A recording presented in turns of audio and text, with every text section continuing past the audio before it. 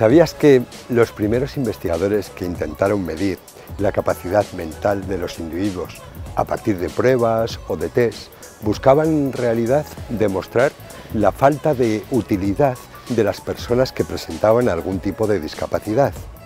Pura eugenesia.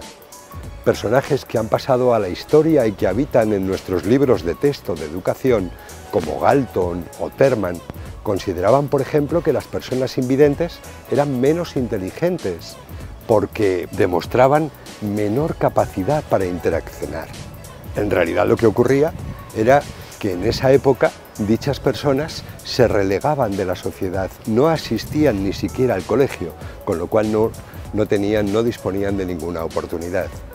Qué lejos queda todo esto, afortunadamente, de la actual educación inclusiva.